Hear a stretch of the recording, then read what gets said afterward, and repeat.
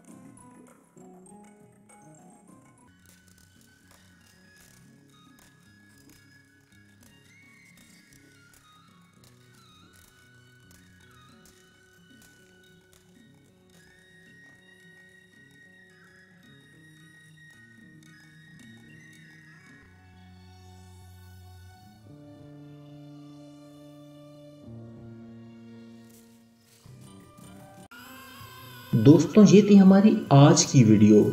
اگلی ویڈیو آپ جس ڈرامے کی کار سے متعلق دیکھنا چاہیں، ضرور بتائیے گا۔ Take care